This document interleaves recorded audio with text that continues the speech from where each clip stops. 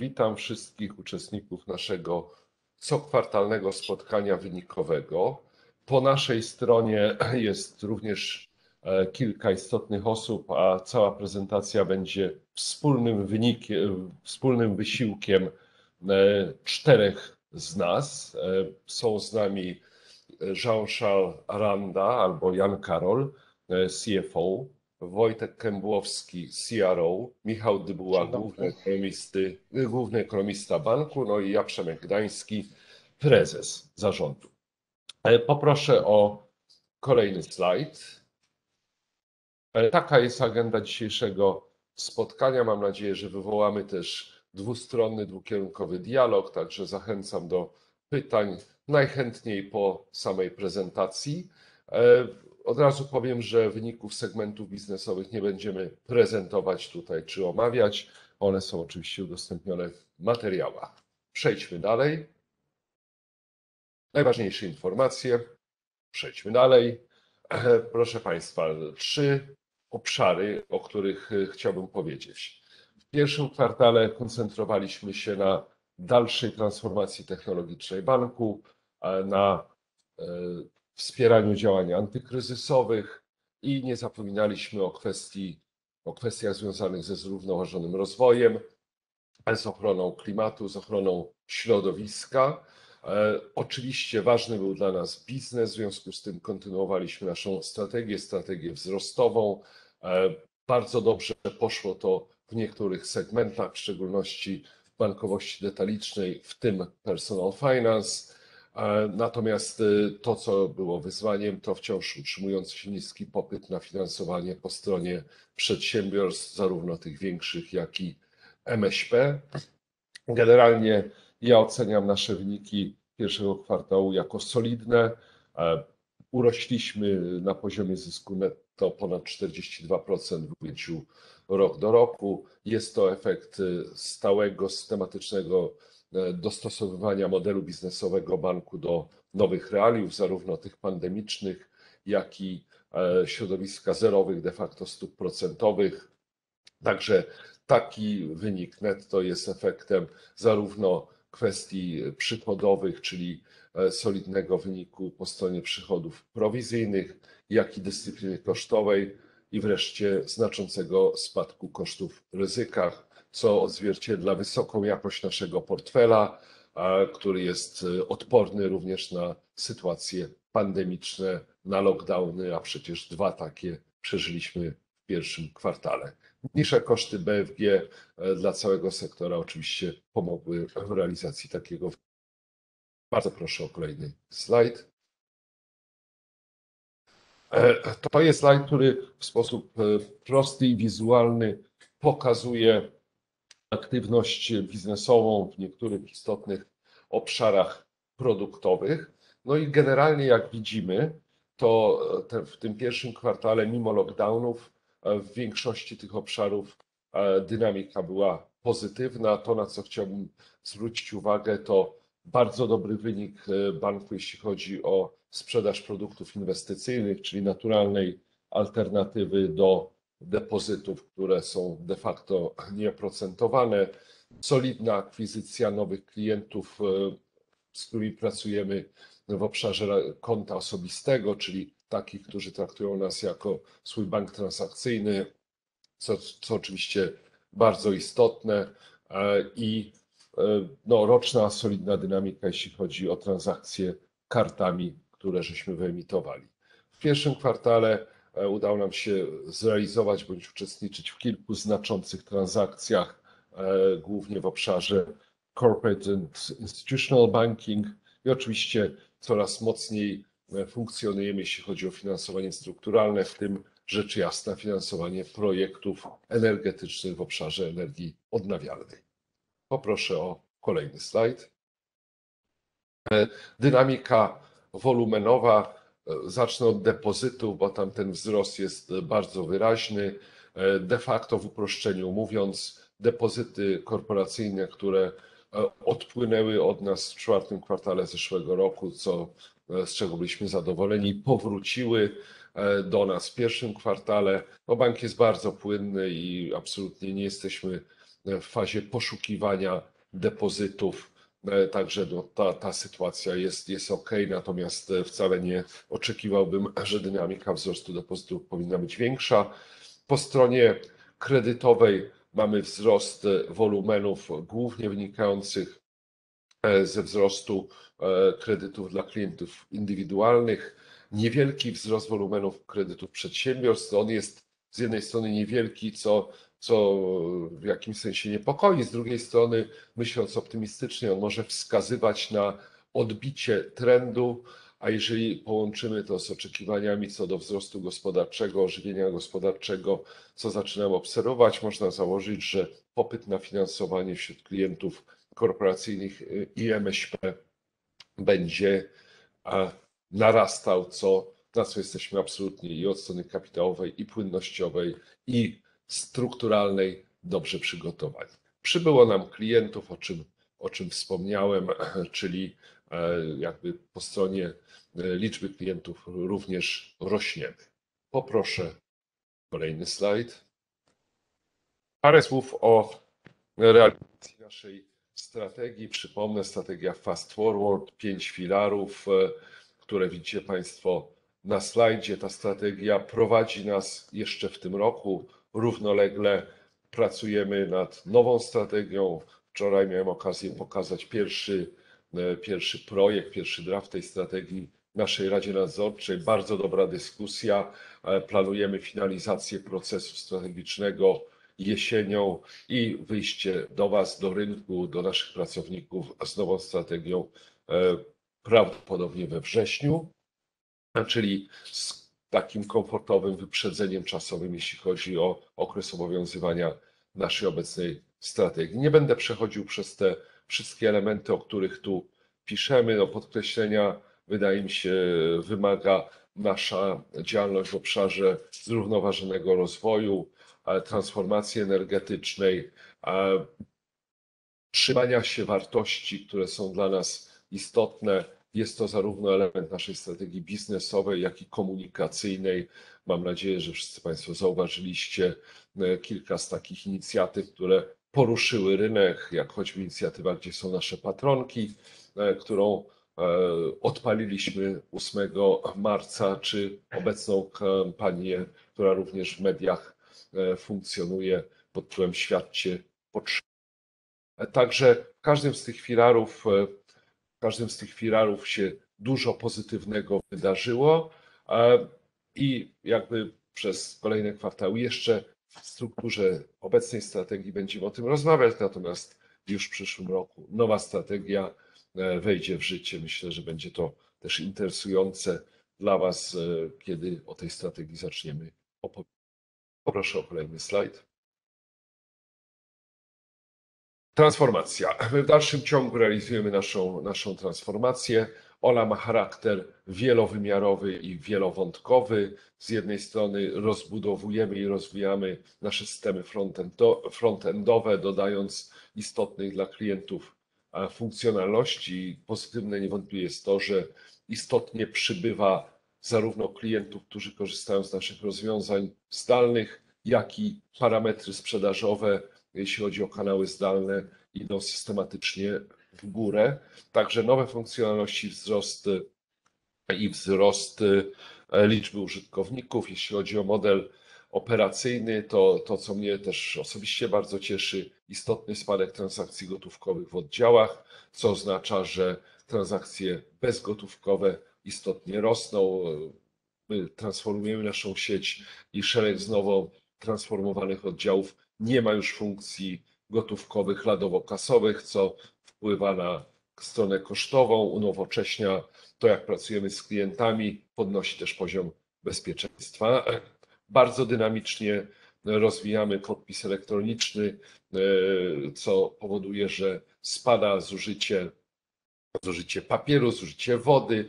W konsekwencji czyli ma to aspekt środowiskowy, ma to również aspekt, jeśli chodzi o szybkość działania i taką wygodę, a w czasie pandemicznym również bezpieczeństwo. E, w tym kwartale podpisaliśmy 142 tysiące dokumentów na platformie Authenti w całym zeszłym roku 290 tysięcy, czyli widać, że, że dynamika jest jak najbardziej właściwa. E, I wreszcie e, odpowiedzialna bankowość. Tu szereg inicjatyw, które, o których wspominamy. E, będziemy bardzo konsekwentnie działać, zachowywać się jako bank odpowiedzialny, rzetelny, taki porządny obywatel rynku i otoczenia, w którym funkcjonujemy. Poproszę o kolejny slajd.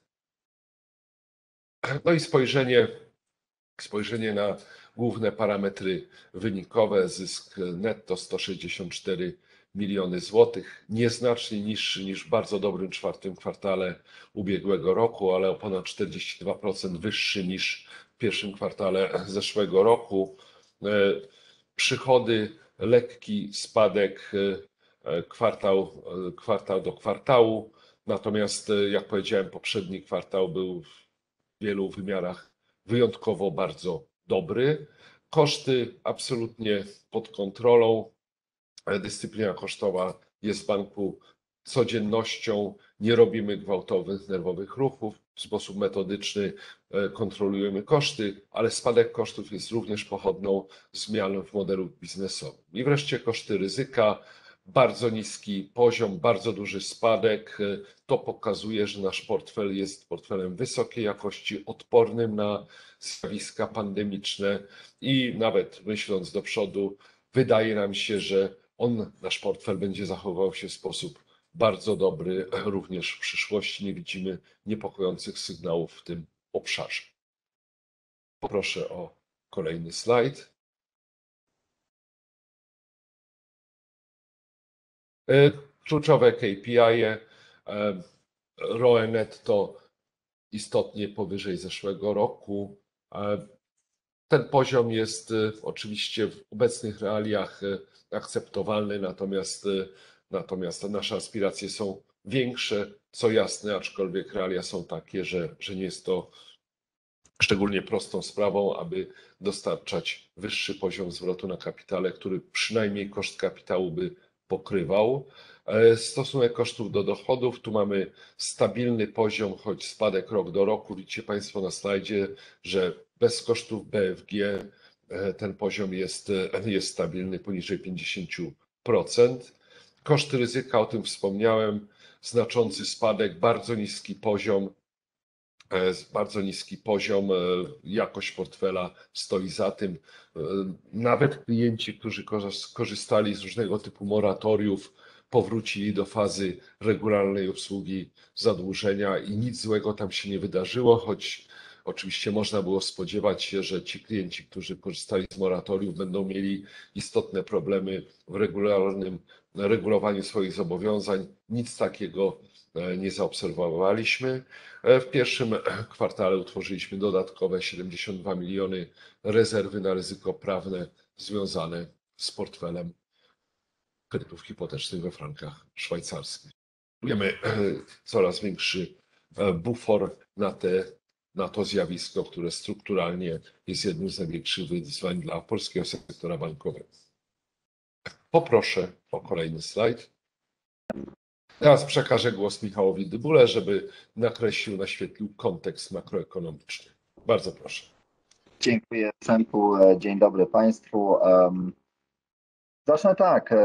Pomimo, pomimo kolejnego lockdownu, trzeciej fali e, pandemii, w zasadzie od początku roku obserwujemy, e, obserwujemy ożywienie E, ożywienie gospodarcze. Ono wciąż jest bardzo nierównomierne, w dużej mierze wynika z bardzo dobrych wyników przemysłu oraz tych wszystkich branż, które są bezpośrednio z przemysłem powiązane, takimi jak transport, transport i, i logistyka.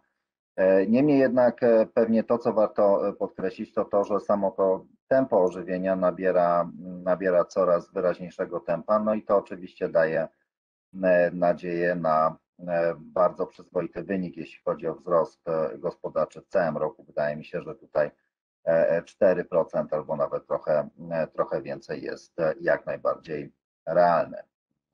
Poproszę kolejny slajd.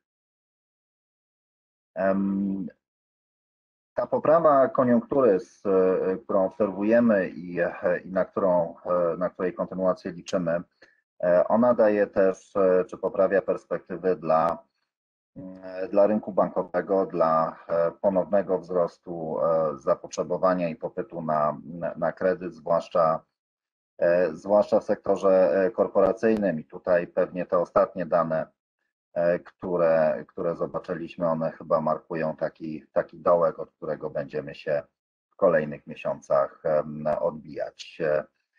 E, samemu ożywieniu gospodarczemu i pewnie to jest e, taki pewien czynnik ryzyka, który tutaj też warto podkreślić, jest rosnąca presja inflacyjna. Tutaj ceny rosną niewątpliwie szybciej niż wydawało się to realistyczne kilka miesięcy temu. E, ten wzrost w dużej mierze jest e, efektem drożejących surowców, e, nie tylko ropy naftowej czy innych surowców energetycznych, ale też takich rzeczy jak, jak komponenty do produkcji elektroniki czy, czy materiałów budowlanych. No i to oczywiście w połączeniu z tym żwawym ożywieniem zwiększa prawdopodobieństwo czy perspektywę tego, że powoli będziemy odchodzili od tego środowiska zerowych, stuprocentowych i w perspektywie tych kolejnych kilku, może kilkunastu miesięcy e, rozpocznie się cykl normalizacji polityki e, pieniężnej i pierwsze podwyżki stóp procentowych e, nastąpią. Co powinno też wpływać pozytywnie na stabilizację kursu walutowego. Mi się wydaje, że pewnie, e, e, choć warto podkreślić, że sam kurs złotego no nie odbiega specjalnie od fundamentów, które są wyznaczane zarówno przez inflację, bilans płatniczy czy różnice produktywności, to jednak ten poziom czy, czy zmienność kursu walutowego utrzymuje się na dość dużym poziomie. Pewnie to jest jeszcze jakaś historia na kolejne kilka tygodni, może, może miesięcy, ale pewnie nie na dłuższy okres czasu. Dziękuję bardzo.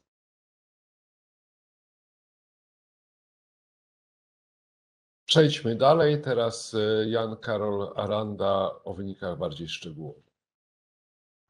Dziękuję Tymku. Dzień dobry wszystkim. Next slide, please.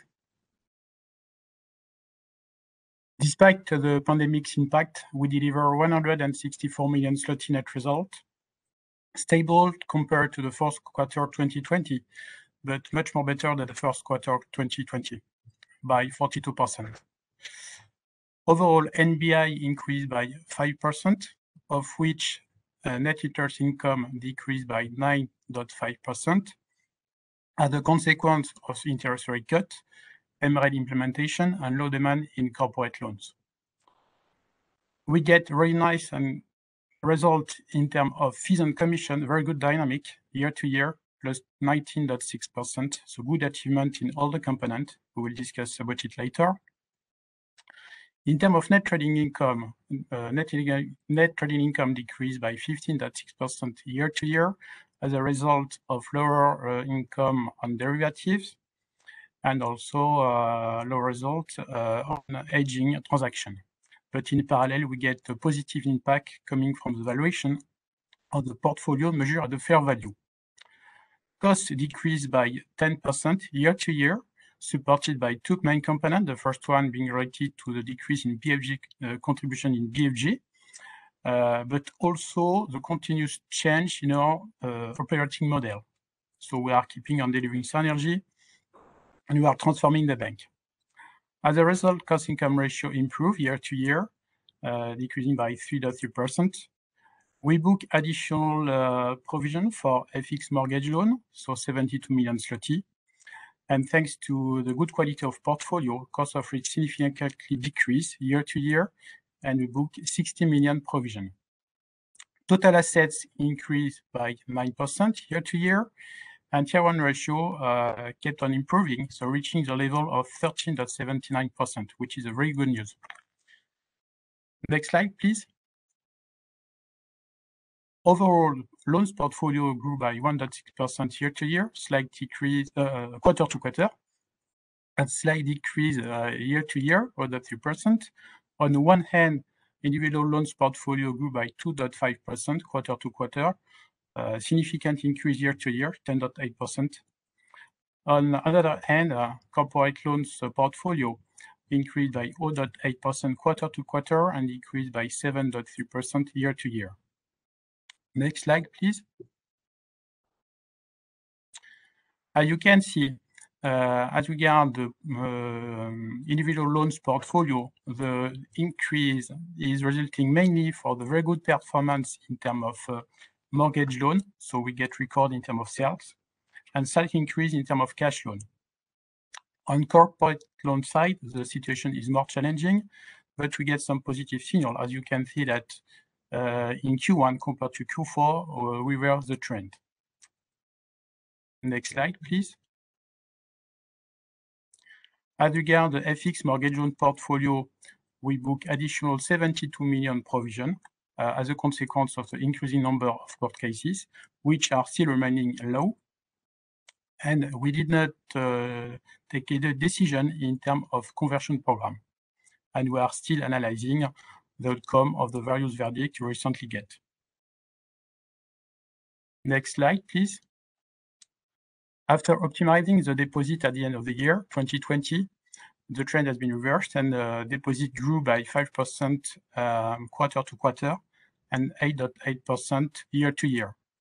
I would like to stress the very good performance in terms of investment product. So we grew by 12.3% quarter to quarter and 56.7% year to year, which is going to provide uh, and give a positive uh, result in terms of fees and commission. We will uh, discuss about it later.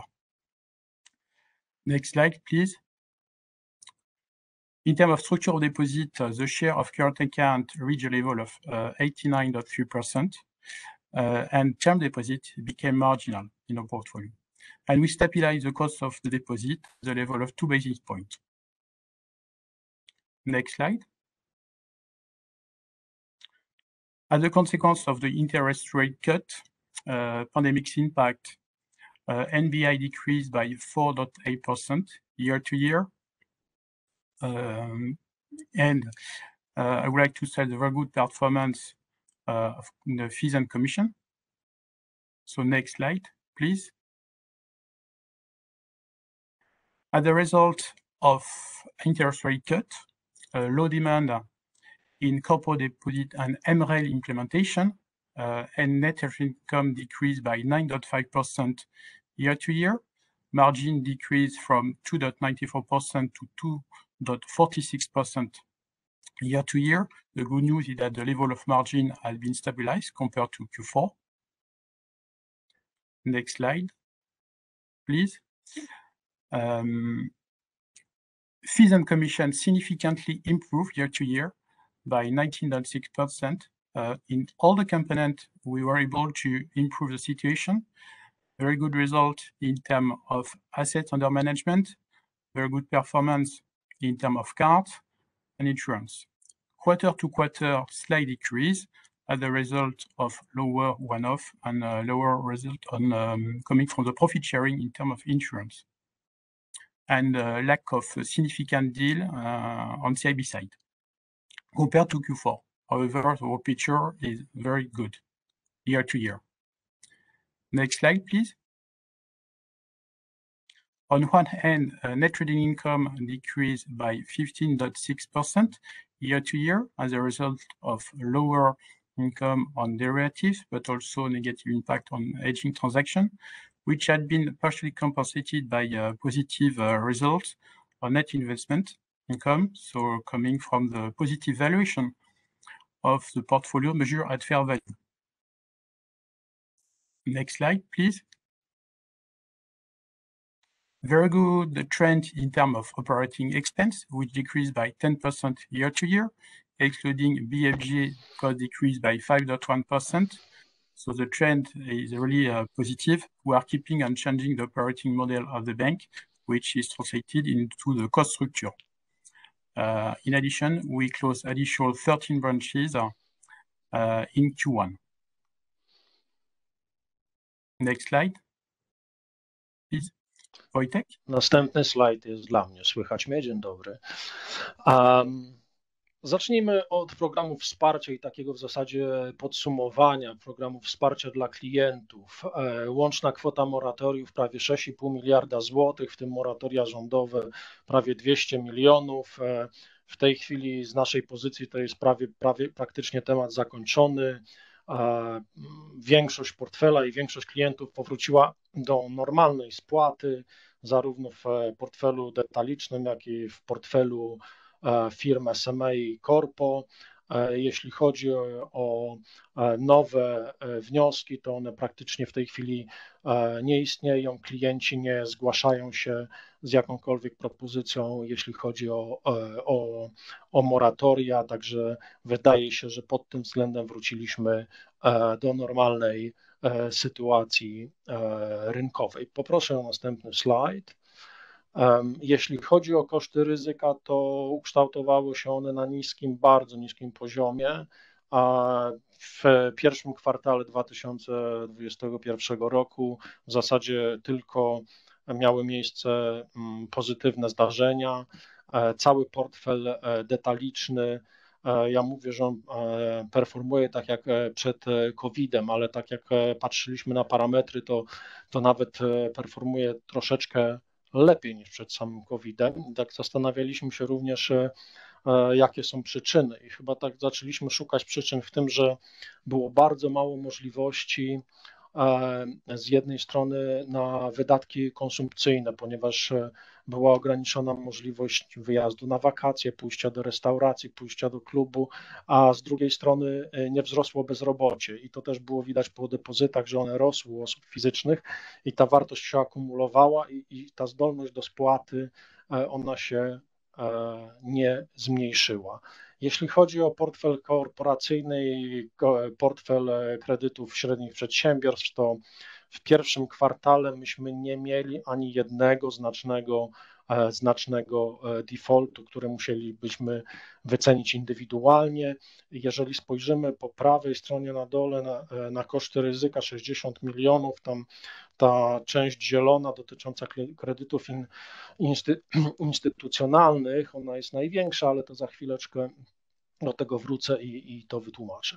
Jeśli chodzi o, o wpływy na koszty ryzyka, to też E, e, nowa definicja defaultu e, spowodowała, że było rozwiązanie 21 milionów, co oznaczało też, że wcześniej byliśmy co, co najmniej właściwie dorezerwowani, jeśli chodzi o, o wszystkie nasze, nasze defaulty. Plus dodatkowo w ramach restrukturyzacji były bardzo dobre wyniki, jeśli chodzi o odzyskiwalność na portfelu detalicznym, ale również a prawdziwe spłaty cashowe, jeśli chodzi o portfele, o portfel e, korporacyjny. Teraz tak, były znaczne ruchy e, i tu wracam jakby do tych kosztów ryzyka dla e, podmiotów instytucjonalnych, bo z jednej strony rozwiązaliśmy rezerwy w związku z polepszeniem scenariuszy makroekonomicznych, ale co zrobiliśmy też, a to dotyczy przede wszystkim portfela e, kredytów instytucjonalnych. Zawiązaliśmy rezerwę, ona jest niezmaterializowana, dlatego że wykonujemy ćwiczenie, które dotyczy przeglądu wszystkich branż, które e, zostały dotknięte przez COVID lub e, podmiotów gospodarczych, które współpracowały z branżami, pod, które były dotknięte przez COVID, chcąc wiedzieć, gdzie tak naprawdę mamy szansę dokładnie wylądować z kosztami ryzyka, z kosztami ryzyka w tym roku. W związku z czym taka rezerwa została zawiązana, netto ten ruch wyniósł 55 milionów złotych, ona nie jest zmaterializowana. My skończymy ten przegląd e, w tym kwartale. Na tym etapie mogę powiedzieć, że jesteśmy bezpieczni z tym, e, co widzieliśmy, co przejrzeliśmy i niczym nie zostaliśmy zaskoczeni. Następny slajd poproszę. E, jeśli chodzi o poziomy kredytów z utratą wartości, to, to wydaje się, że sytuacja jest całkowicie pod kontrolą. E, w, w, zarówno w, um, jeśli spojrzymy na udział procentowy, jak i nominalny, to te wskaźniki, to te wskaźniki maleją. Na ten moment nie spodziewamy się jakichkolwiek takich powiedzmy znacznych e, negatywnych ruchów. Oczywiście jakby stałą cechą jest branie ryzyka i te defaulty będą się pojawiały oczywiście, tak? Natomiast one tak długo jak są pod kontrolą i w ramach ustalonych parametrów, to, to jest normalna część, normalna część biznesu. Widać z tych wykresów, że każdy z portfeli na tym etapie performuje nam e, w sposób właściwy. I slajd kolejny, jakbym poprosić. Tutaj chciałbym zwrócić uwagę tylko na jedną rzecz, to jest wskaźnik pokrycia e, rezerwami kredytów brutto dla fazy trzeciej. E, tutaj był taki spadek pomiędzy trzecim a czwartym kwartałem, to już o tym mówiłem. Poprzednio myśmy dokonali raz w zeszłym roku tylko dużej sprzedaży portfela E, kredytów z utratą wartości, który oczywiście był bardzo wysoko obrezerwowany, ponad 90%. W pierwszym kwartale ze względu na pandemię tego nie robiliśmy, zawsze to robimy dwa razy w roku, dlatego e, tylko, e, znaczy w zeszłym roku było to robione tylko raz, na jesieni, to spowodowało spadek wskaźnika pokrycia, natomiast jakby nowy defaultowy portfel jest bardzo ograniczony, a jednak dotwarzamy rezerwy, w związku z czym z czasem w tym roku znowu powrócimy, powrócimy do tego, do tego większego, do tego większego pokrycia. I to chyba byłoby wszystko. Dziękuję.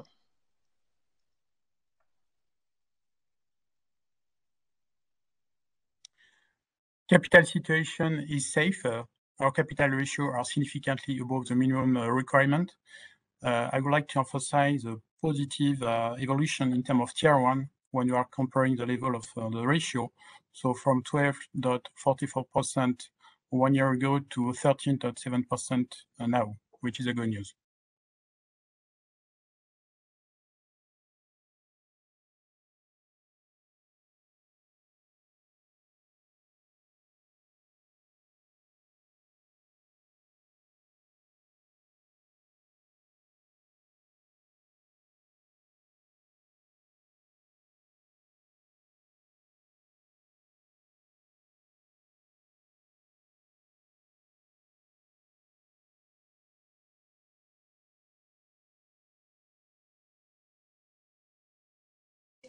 Poproszę o kolejny slajd.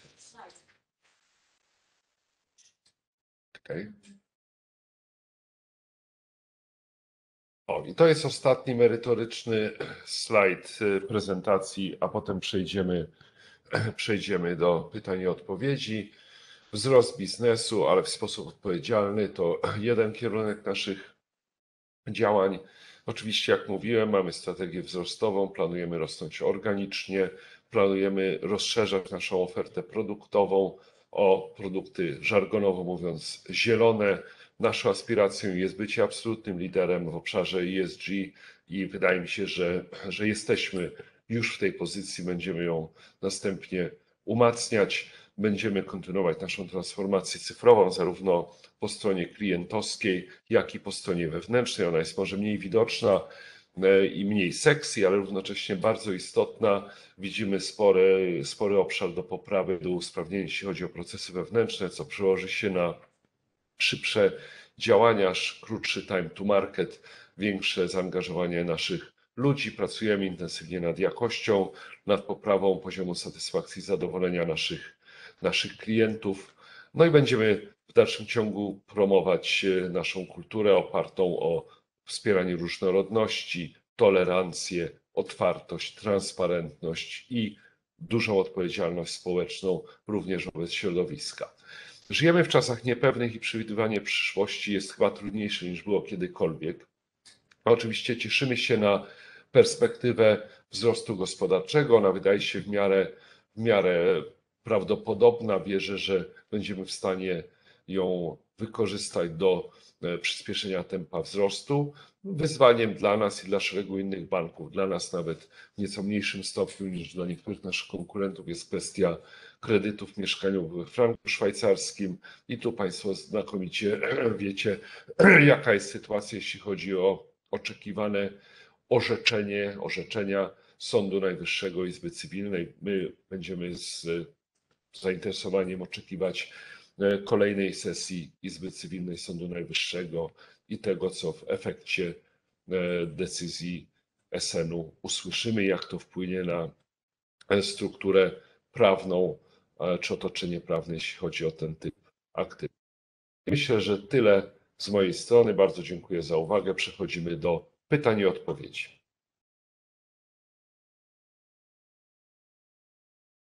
Coś jest na czacie. Oczywiście pytania mogą być zadawane zarówno werbalnie, jak i na czacie. Widzę tu dwa pytania, oba raczej do prezesa Kębłowskiego dotyczące skutków moratoriów, jeśli chodzi o NPL i tego, co, co w kolejnych kwartałach. Widzę też pytanie do mnie, to odpowiem na nie bardzo szybko. Jaki będzie okres obowiązywania nowej strategii? To będzie strategia na lata 2022-2025.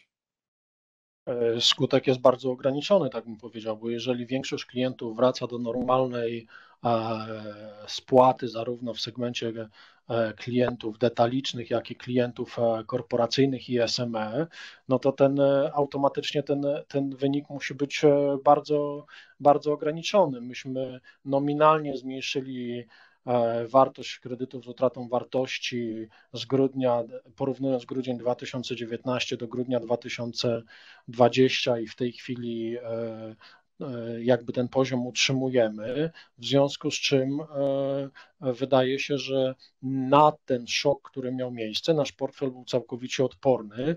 Co istotne jest, i, i, i to było najważniejsze pytanie dla mnie rok temu, jakby, tak? Jak długo będzie trwał lockdown i jakiej części gospodarki będzie dotyczył, bo sytuacja jest taka, jeżeli to by trwało pół roku, 9 miesięcy, a, a dla niektórych części gospodarki to nie miało miejsca, zakłady normalnie funkcjonowały, to, to, to było do przeżycia i oczywiście to wpływ był ograniczony. Natomiast gdybyśmy mieli taką sytuację, że to by trwało 3 lata, 4 lata, no to nie ma takiego przedsiębiorstwa, nie wiadomo jak ono byłoby dobre, na które nie byłoby negatywnego wpływu w sytuacji, gdy to przedsiębiorstwo nie mogłoby funkcjonować i, i, i, sprzedawać i generować nadwyżek finansowych w tak długim okresie po prostu. Natomiast my w takiej sytuacji nie jesteśmy. Jesteśmy w takiej sytuacji, że większość naszego portfela normalnie funkcjonowało, a, a ta część, która poprosiła o moratoria, wróciła do normalnej spłaty.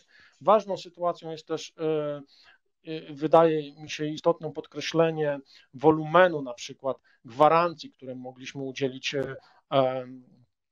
w ramach umowy z BGK, to było 12 miliardów, natomiast myśmy w znacznej części nie wykorzystali tych gwarancji, co oznacza też, że nasi klienci nie byli zmuszeni dodatkowych, do otrzymania dodatkowych linii płynnościowych. Okay, to wszystko. A drugie pytanie, panie prezesie, też do ciebie. A jakie jest ryzyka w, czy w kolejnych kwartałach, kwartałach zarząd oczekuje utrzymania kosztów ryzyka na poziomie z pierwszego kwartału? Jaki, a, jakie jest oczekiwanie ryzyka w całym roku? No ja znam odpowiedź na to pytanie, ale tak. zostawię Ci tę przyjemność. To znaczy, wydaje mi się, że jesteśmy tak umówieni, że prognoz nie podajemy na koniec roku, prawda? Natomiast, natomiast jedno to, to, to, to, to jeszcze raz podkreślę. Portfel detaliczny, cały a jakościowo performuje tak jak przed COVID-em. Jeśli chodzi o portfel korporacyjny i SME, nie mieliśmy żadnych dużych odpisów na kredyty z utratą wartości jakby w ciągu tego czasu w 2021 roku. Także wydaje mi się, że na tym byśmy, na tym byśmy to pozostawili. To, co powiedziałem, robimy przegląd dokładny, ale, ale też to, co już powiedziałem, jesteśmy w nim bezpieczni w tym przeglądzie dotyczącym a, wszystkich e, klientów, a, e, których sprawdzamy indywidualnie, e, dla wszystkich branż, które zostały dotknięte, lub dla klientów, którzy współpracowali z branżami dotkniętymi, bo to też są kooperanci, prawda? Prognoz nie podajemy. Dzięki. Czy i kiedy możemy oczekiwać odbicia net interest margin? Znowu jest pytanie z gatunku forward looking, a na takie pytanie e, staramy się nie odpowiadać, chyba że Jean-Charles chciałby coś w tej sprawie powiedzieć.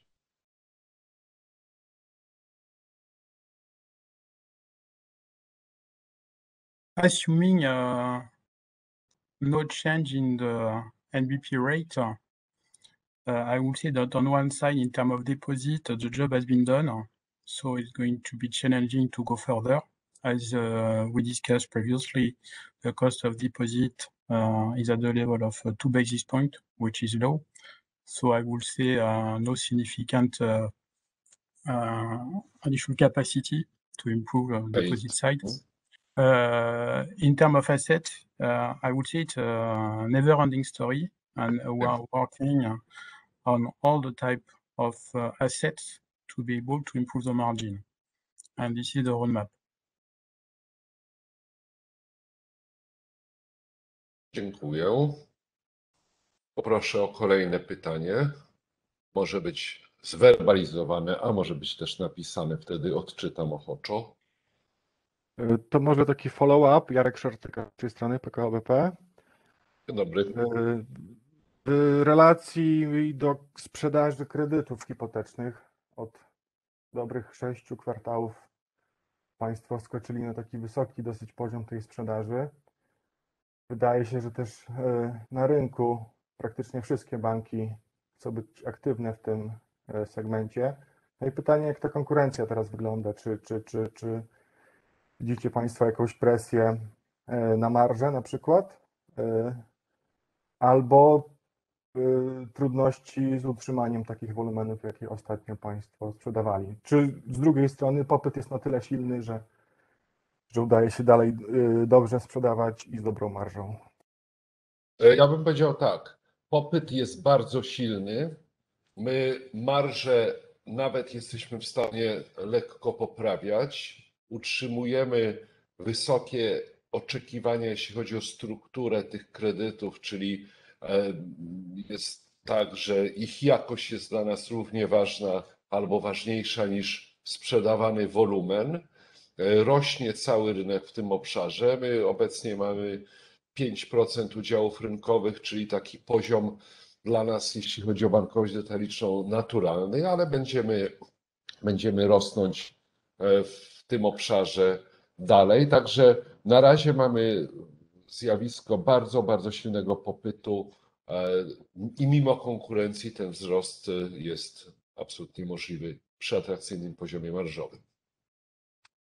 Widzę dwa pytania na czacie. Czy bank, czy BNP Paribas planuje przedstawić politykę, dywidendową w nowej strategii?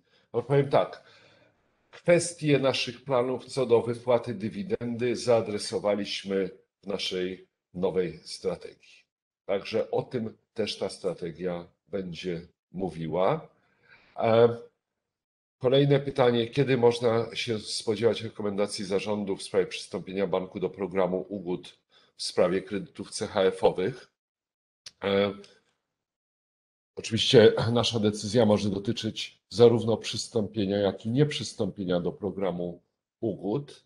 E, My od początku mówiliśmy, że z jednej strony intensywnie pracujemy analitycznie, zrobiliśmy badanie wśród naszych klientów na dużą skalę, realizujemy projekt testowy na wyselekcjonowanej niewielkiej grupie klientów, żeby zobaczyć, jak taki proces funkcjonuje w praktyce. Natomiast równocześnie powiedzieliśmy wyraźnie, że najpierw chcielibyśmy poznać e, rozstrzygnięcie z Izby Cywilnej Sądu Najwyższego, następnie starannie raz jeszcze przeanalizować konsekwencje tego rozstrzygnięcia i wtedy podjąć decyzję. Czyli będzie to na pewno po, e, po kolejnym, mam nadzieję, konkluzywnym posiedzeniu Izby Cywilnej Sądu Najwyższego i jeszcze po jakimś czasie, który będziemy potrzebowali na prace analityczne.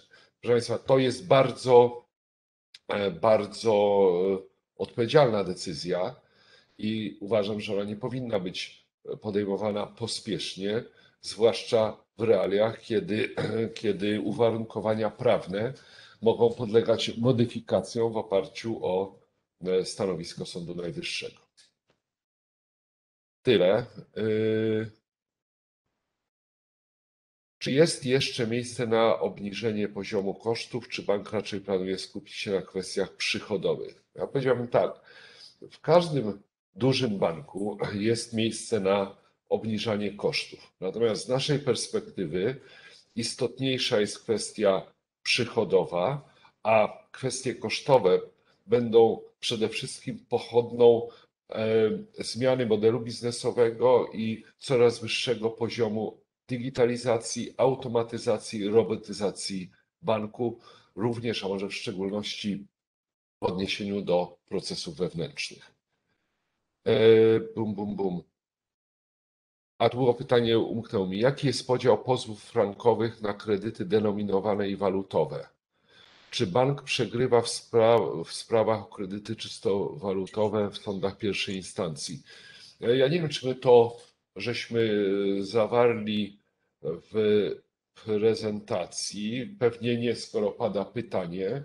E, Nie mam przekonania, czy my tak precyzyjne statystyki e, publikujemy czy, czy, czy udostępniamy. Ja mogę No. wysokopoziomo, mo- wysokopoziomowo powiedzieć, że e, zarówno pozwów, jeśli chodzi o kredyty walutowe, jest istotnie mniej, jak i wyniki są istotnie korzystniejsze dla banku niż dla tej drugiej kategorii kredytów. Indeksowanych, jak Państwo wiecie, nie mamy. E, Jakie są wyniki ankiety dotyczącej ugód CHF-owych? Czy klienci są chętni do zawierania ugód, czy nie? No ja, ja mogę tylko z pamięci powiedzieć, że e, 56% badanej populacji wyraziło zainteresowanie takimi ugodami. Pozostała część była albo niezainteresowana, albo nie miała jasnego stanowiska w tej materii. I wydaje mi się, że to, ten poziom w okolicach 60% jest typowy dla banków, które mają takie portfele i takie badania przeprowadziły.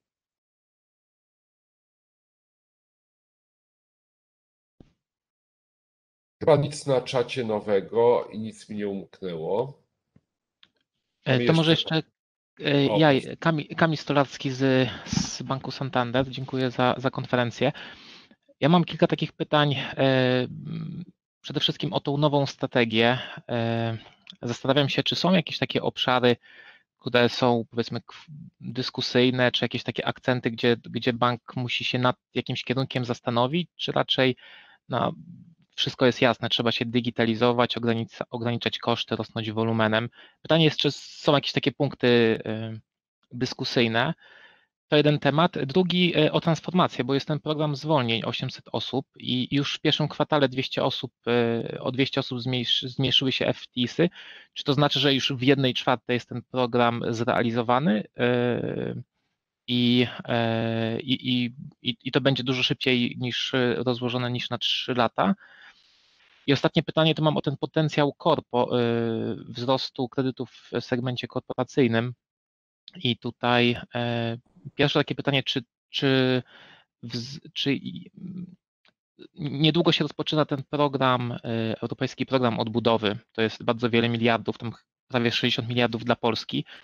I jak Państwo myślą, czy ten program będzie wspierał e, wzrost kredytu bankowego dla korporacji, czy raczej wyprze ten wzrost kredytów e, dla korporacji? Dobrze, to Czyli może te- zacznijmy odpowiadać, bo pytań dużo i możemy się pogubić. I spróbujmy, proszę w razie czego mi podpowiadać, e, co w danym pytaniu było. Pierwsze, jeśli chodzi o nową strategię. Znaczy ja powiem tak, no nie chciałbym na tym etapie ujawniać szczegółów nowej strategii. E, My zbudowaliśmy ten obecny draft, angażując e, kilkudziesięciu senioralnych menadżerów oprócz samego zarządu. Jesteśmy w dialogu e, z naszą Radą Nadzorczą. Wydaje mi się, że wszyscy mówimy tu jednym głosem. Pewnie jeszcze drobne fine-tuningi są, są wskazane. Natomiast e, no, mam wrażenie, że, że taka zgodność co do wysokopoziomowych kierunków strategicznych banku jest e, absolutnie osiągnięta. E, Co tam mieliśmy dalej? Pamiętam Y- pytanie, Restrukturyzacja 200 wers- A, versus 800. 800 etatów FTIS-ów przez 3 lata to nie jest dla nas gigantyczne wyzwanie. I przypomnę, że w efekcie e, e, działań synergicznych po przejęciu działalności podstawowej Raiffeisena e, zmniejsz- zmniejszyliśmy zatrudnienie o ponad 2000 etatów. W związku z tym no, ten proces się toczy, on nie wzbudza e, sensacji czy szczególnych emocji. My go po prostu spokojnie, metodycznie zre- zrealizujemy albo w założonym harmonogramie, albo trochę szybciej. Także e, to raczej zen pod tym względem. E, Było pytanie o kredyty korporacyjne i Europejski Plan Odbudowy. Tu poproszę Michała o, o dopełnienie, natomiast moje osobiste e, przekonanie czy odczucia są takie, że to może być katalizator do wzrostu inwestycji, które to inwestycje będą współfinansowane kredytem bankowym. Jak wiemy, jak wiemy, inwestycje są na niepokojąco niskim poziomie od szeregu kwartałów. W związku z tym, jeżeli ten plan będzie takim katalizatorem, a myślę, że będzie, to za nim powinien e, pójść wzrost popytu na finansowanie inwestycyjne, powiązane z nim finansowanie obrotowe, więc i opatruję w tym dobrych e, wiadomości i wzmocnienia perspektyw rozwojowych w tym obszarze. Jedno pytanie mi umknęło. Chyba. Nie, to wszystkie, dziękuję bardzo. Jego wiem, że już były cztery. Michał, czy chciałbyś coś dodać e, do pytania o kredyty korpo? Nie, ja bym tylko chciał potwierdzić. e, Trzeba pamiętać o tym, że e, beneficjenci tego, tego programu no też będą musieli współfinansować całość tych inwestycji, a co za tym idzie zapotrzebowanie czy popyt na finansowanie zewnętrzne powinno, powinno rosnąć zarówno wśród tych bezpośrednich beneficjentów funduszy, e, funduszy odbudowy, jak też i e, firm czy podmiotów czy branż, które e, z tymi beneficjentami kooperują, więc ja tutaj raczej też nie obawiałbym się wystąpienia efektów wypychania, tylko raczej wzrostu popytu na kredyt bankowy. Bardzo Dziękuję. dziękuję. Czy mamy jeszcze jakieś pytania, komentarze, refleksje, feedback przyjazny i konstruktywny, bądź dowolny? Szanowni Państwo, nie Może jeszcze bym do, O, pytał, przepraszam, Jarek Szartyka, jeszcze o kredyt e, gotówkowy. Czy e, podzielilibyście się Państwo e, trajektorią tej sprzedaży w pierwszym kwartale? Na, na rynku wydaje się, że to chyba każdy miesiąc był coraz lepszy, co gdzieś tam dobrze wróży też na przyszłość, jeżeli chodzi o sprzedaż tego kredytu gotówkowego. Czy u Państwa było podobnie? Y, To y, ja muszę sięgnąć po materiał, bo taki obrazek pokazaliśmy w tej podstawowej części prezentacji. To jest slajd piąty.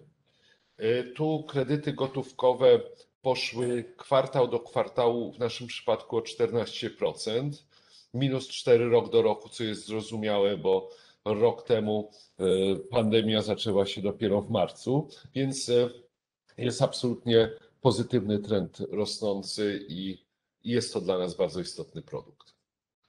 Coraz więcej kredytów gotówkowych sprzedajemy też w online szeroko pojmowanym, co mnie cieszy. Jest jakaś cyfra, przepraszam, bo nie dopatrzyłem właśnie jaki procent tej gotówki jest, jest w online sprzedawany? Yy, proszę pana, takie cyfry są. Ja nie wiem, Mamy czy taką mam... cyfrę, 20%. 20. Okej, dziękuję. To oczywiście nie jest Mistrzostwo Świata, ale trend jest bardzo wyraziście pozytywny. Także ja wierzę, że za jakiś czas dognamy tych, którzy sprzedają istotnie więcej i liderują w tej kategorii wagowej. Dziękuję bardzo. Dziękuję za pytanie i za aktywność na naszej konferencji wynikowej. Proszę Państwa, nie widzę pytań na czacie. Nie słyszę pytań zadawanych ustnie. Zawsze możecie nas znaleźć i wiecie dobrze jak. I na wszelkie pytania postaramy się odpowiedzieć. A myślę, że teraz po prostu zakończymy nasze spotkanie. Ja chciałbym podziękować za obecność, podziękować za aktywność. życzyć wszystkim dużo zdrowia, szybkiego zaszczepienia się tym, którzy jeszcze tego nie zrobili i dużo zdrowia tym, którzy już są po tej bezpieczniejszej stronie, jak ja na przykład. I widzimy się przy różnych okazjach, a na pewno za kolejny kwartał. Dziękuję bardzo i do widzenia.